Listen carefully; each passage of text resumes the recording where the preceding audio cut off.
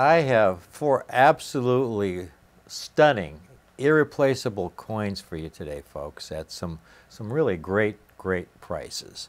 I'm going to start off with the very first year of the Franklin series. I have a 48, 1948D.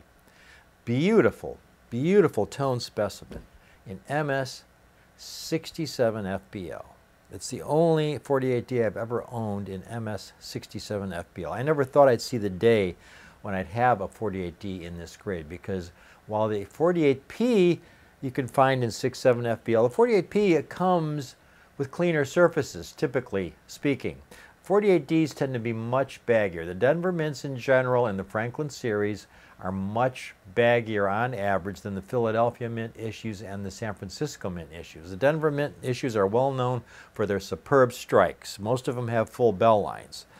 But they also typically have a lot of bag marks. And to find a 48D uh, that's essentially flawless with gorgeous color, there is only two examples graded by NGC and MS 67 FBL. This is one of the two coins, folks. In my opinion, this is a $35,000, $45,000 coin. Uh, the good news is I got a great, great buying opportunity on it. I got it at a great price. It really is a king of the hill specimen. I personally, uh, if I have it uh, for, for much longer, I'm going to resubmit it for an upgrade for either a plus or a star designation. Uh, I, I, think it's one of, uh, again, as with all of these coins, they're really exceptional for their respective grades. And a 48D is absolutely irreplaceable in MS67 FBL, um, especially with nice colors. It's gorgeous, gorgeous kind of a, a burnt, iridescent, burnt orange color, obverse and reverse, um, not your typical uh, gray, brown that these 48Ds usually come in when, when they're in mint sets. When they come out of these mint sets, they're usually just very dull, colorless coins. This coin has beautiful, vibrant, iridescent, this kind of uh, sunburst, uh, sunset orange coloration on the obverse and reverse. It's just a gorgeous, gorgeous specimen with, with you know, again, virtually flawless surfaces. Now the second coin, second coin I have here is a 1953 Proof 68 Plus. now, 228, oh, by the way, that first 40, that 48D is an Everest coin. I forgot to mention that. That is an Everest coin. 53 is a Proof 68 Plus. Uh, only 220 some examples have been graded in 6.8. However, only two in 6.8 Plus. There have been 11 graded in 6.9. So this is near the very top of the of the of the hill here in terms of quality. There's only a handful and graded in six nine. Those coins typically go for around fifteen thousand dollars. The great news on this is that I've got it priced for about a fifth of that in six eight plus condition. Beautiful, fully brilliant surfaces, no spots, no haze, as pristine and flawless as the day it was struck back in 1953. The third coin here Oh, yes. I love this coin. Here you have a coin 1829. 1829 half dollar. Struck during the screw press era, folks. The screw press era. Uh, the screw press era. There's your capped bust half dollar struck during the screw press era. This is before the era of the steam press. The steam presses, I, I believe, uh, were first used in 1836. Up, up before that time, they used screw press to strike these coins. And to have a survivor, almost 200 years old, this coin is virtually perfect. The strike is full and bold in all areas uh, it is hard to believe it's almost 200 years old. It is the only example graded MS 66 star by NGC. There are no six sevens. So the, here you're talking about the finest known surviving 1829 with beautiful, beautiful kind of electric deep blue color around the periphery, obverse and reverse just absolutely magnificent. It looks like it's been stored in an album for maybe 150 years, you know, because to survive in this condition, having been struck in 1829, 1829, folks, Abraham Lincoln was 20 years old. I mean, if he had had this coin in his pocket at one time, it wouldn't be MS-66 today. The coin is essentially as it came off the die when it came off that screw press. No serious bag marks of any kind. Very conservatively graded. It is absolutely breathtaking. Uh, absolutely irreplaceable jewel uh, from the, the cap bust series, 1829 from the screw press era. Finest known MS-66 star, of course, it is an Everest. And then lastly, I've got this beautiful pre-1800 silver dollar. Only 19 graded in MS61 to get a mint state pre-1800 silver dollar. Folks, these are so rare to find in uncirculated condition. Here you've got this beautiful, beautiful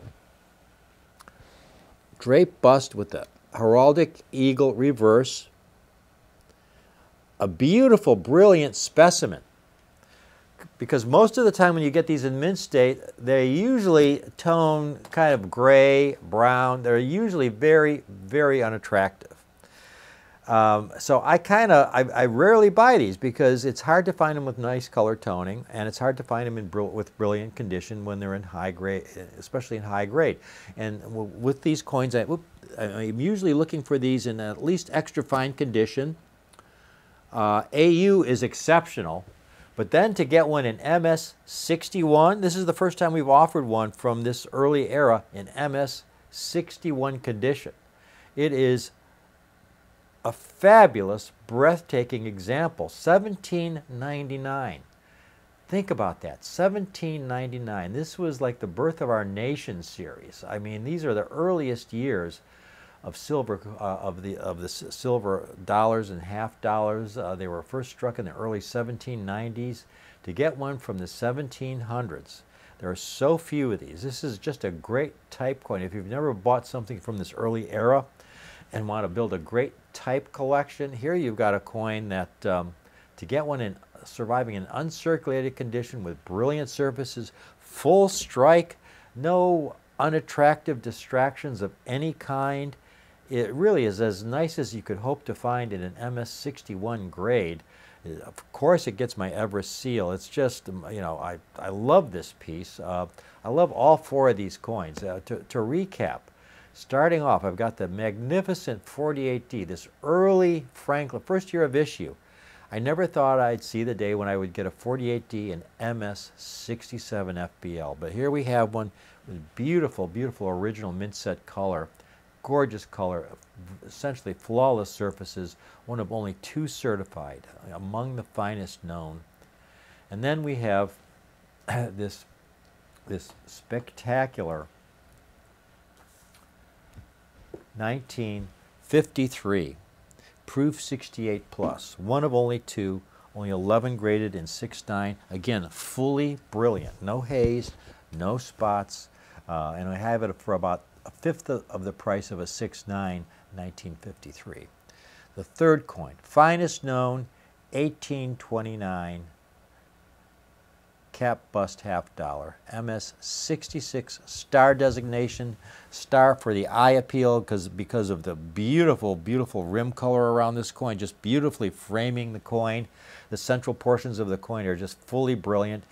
It really, you couldn't ask for a more beautiful higher quality specimen, especially at the price I have it for you at, folks. It, to me, this is the kind of coin that will be a six-figure coin one day. They are so extremely rare, so, so very, very undervalued.